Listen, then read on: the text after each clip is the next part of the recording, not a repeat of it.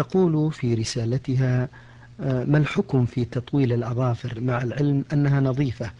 وهل قصها سنة أم فرض؟ أفيدونا بذلك. الحمد لله رب العالمين وأصلي وأسلم على نبينا محمد خاتم النبيين وعلى آله وأصحابه أجمعين. تقليم الأظافر أو قصها من سنن الفطرة التي فطر الله الخلق على استحسانها قدرا وسنها لهم شرعا.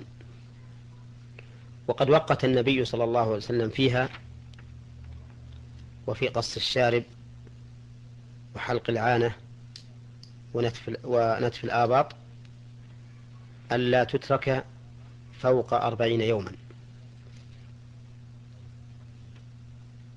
وعلى هذا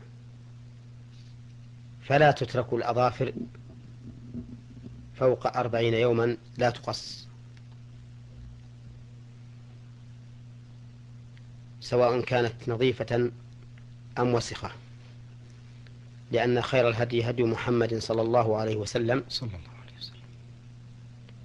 وعدم قصها مخالف للفطرة التي فطر الناس عليه التي فطر الله الناس عليها.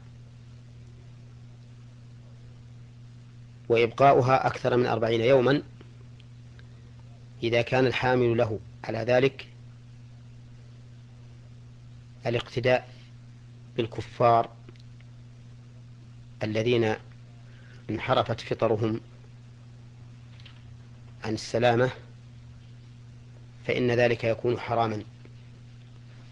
لأن النبي صلى الله عليه وسلم قال من تشبه بقوم فهو منهم.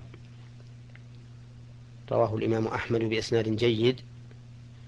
قال شيخ الإسلام ابن تيمية أقل أحوال هذا الحديث التحريم وإن كان ظاهره يقتضي كفر المتشبه بهم. أما إذا كان الحامل لإبقائها وتركها أكثر من أربعين يوما مجرد هوى في نفس الإنسان فإن ذلك خلاف الفطرة وخلاف ما وقته النبي صلى الله عليه وسلم لأمته.